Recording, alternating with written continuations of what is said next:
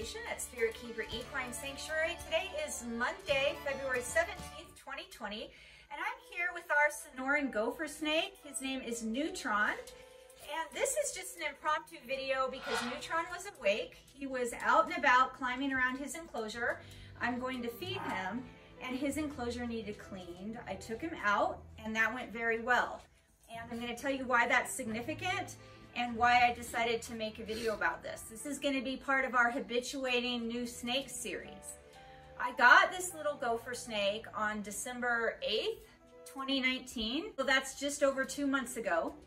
And when we initially got him, he was very, very darty, as many gopher snakes are when they're babies and they're afraid of everything. And he did quite a bit of hissing and tail rattling that first day that we brought him home. And I set him up into a terrarium. I'll get some shots of his terrarium for you in a minute.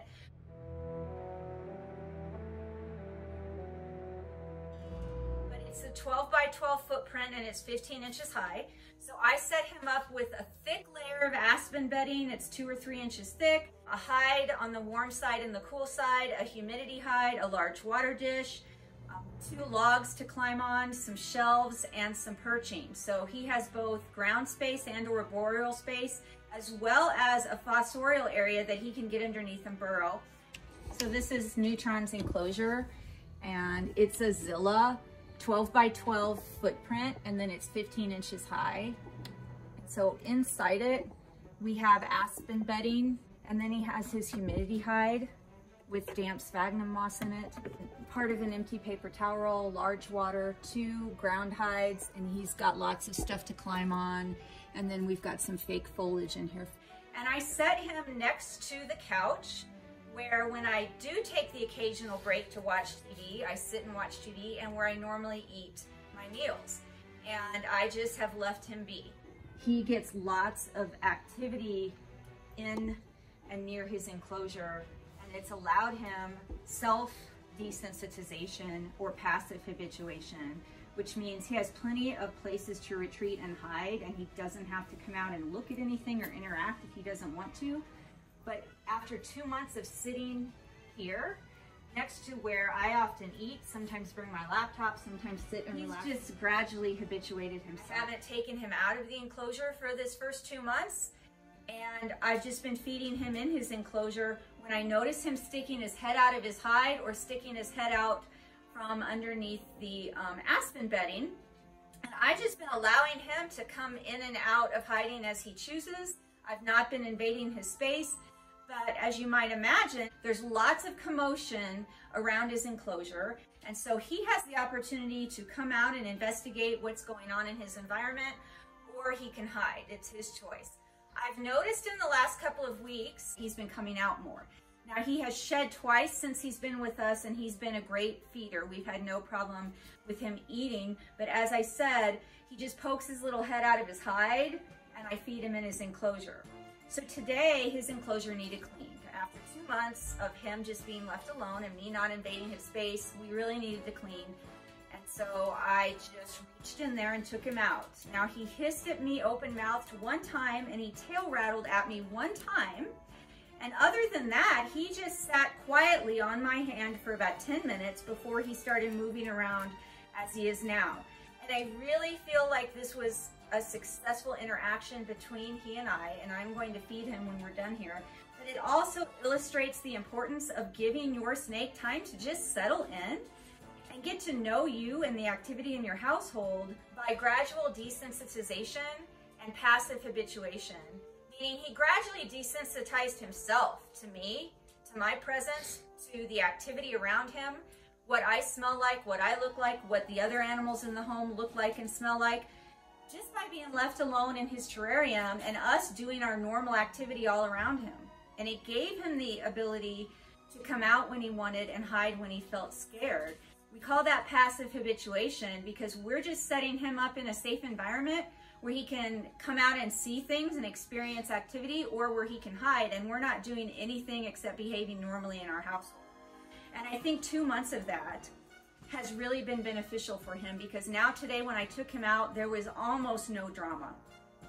Actually, there was no drama when I initially reached in and took him out And he was probably out on my hand for 30 seconds or 45 seconds before he gave me that one hiss and tail rattle.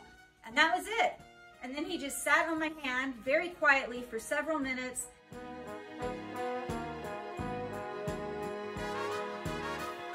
Just now he's starting to move around. But I've got lots of tongue flicking going on and lots of green zone behaviors.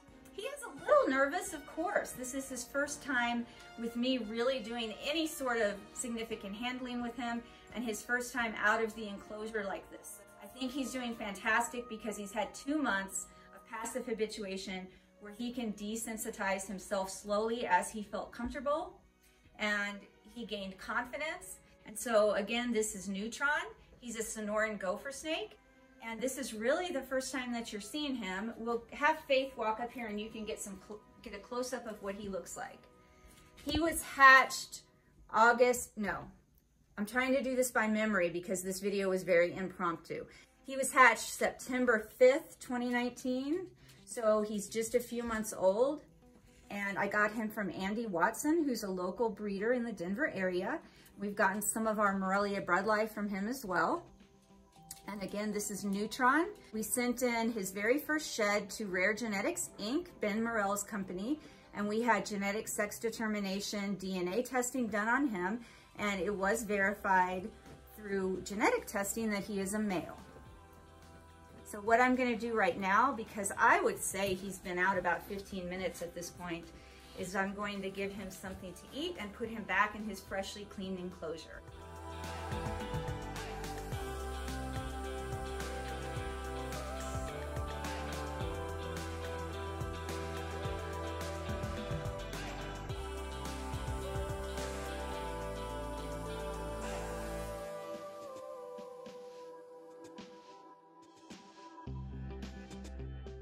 This is Neutron's first experience eating out of his enclosure, and this is the first step in teaching him to do future activities like station training and puzzle feeding and traversing mazes. And so what we've done is we've set him on one of our feeding stations, one of the stations that we use for station training and target training, and I put the rodent inside a cup. And instead of having him hunt for it, because I think since this is his first time, He's a little bit too nervous and he doesn't know that he's supposed to hunt for the food. I just put it in the cup and showed him the cup with the rodent in it. And he ate it right away.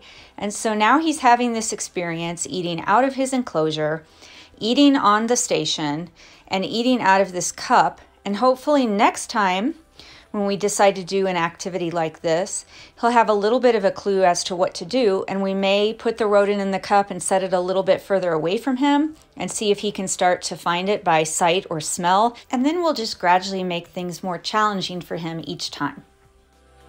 What we have here is Neutron's enclosure, and as you can see, we have about two to three inches of aspen bedding in here because he's not just sitting here habituating to me and watching my activity when I'm in here, but I'm watching him as well. And one of the activities that he does a lot is burrow under this substrate. So he's got a couple of hides in here, but he doesn't always necessarily use those hides to hide. He gets under the aspen and use, makes his own tunnels in here to hide. So he's got two hides. He has damp sphagnum moss in a moss box or a humidity hide and he does use that a lot. He's got a water dish that's big enough for him to get in, and he does get in this water dish and swim and soak. He's got part of a paper towel roll. And then I have part of a branch in here for him to climb on. And I've got one of these for climbing. So all of this is in his enclosure, plus a PVC perch and a shelf and some fake vines and foliage. And then on the front, I keep index cards with all of his information, his hatch date, where I got him from, when he arrived here, all his meals and sheds. And then this I get from Cloud Forest Designs. It says information about the species that he is, Pituophis catnifera affinis, which is a Sonoran gopher snake. And I try to put these, as well as these index cards, on all the enclosures, so when we have visitors, they can look and see what snakes and what And also if something were to happen to me, then my intern, my husband, or anybody that would be over here having to manage these animals is gonna know what kind they are, when they last ate, what they last ate, and when they last shed, how old they are, who they came from, etc. I think that he has done an outstanding job today. This is literally the first time that I've gotten him out in this manner. He did just wonderful. I'm very proud of little Neutron today. Now, since he did so great, that doesn't mean that now I'm gonna start getting him out every day or even every few days. It means that he had a really positive, successful experience today, coming out for enclosure cleaning and eating and being handled. And so I'm probably gonna leave him alone for a while, maybe a few more weeks, and let him see that that was a positive experience, nothing bad happened. He got to go back into his enclosure, and we're just gonna go back to that passive habituation process. If I see him coming out more and more, or when I see that he's hungry next time, if instead of just sticking his head out of one of his little hides, he comes to the door, then he's telling me he's okay with more interaction and more handling, and I just do the interaction and handling based on his behavior. And as you can see here, if, I, if my intern can bring the camera up here, he's climbing.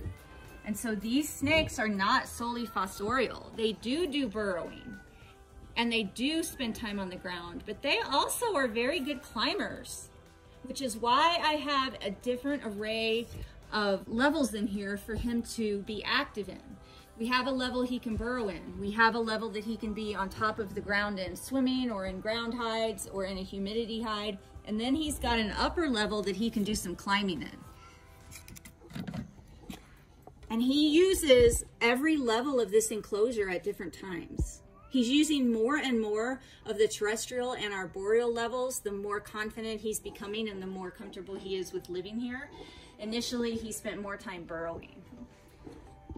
So everybody, thanks for watching.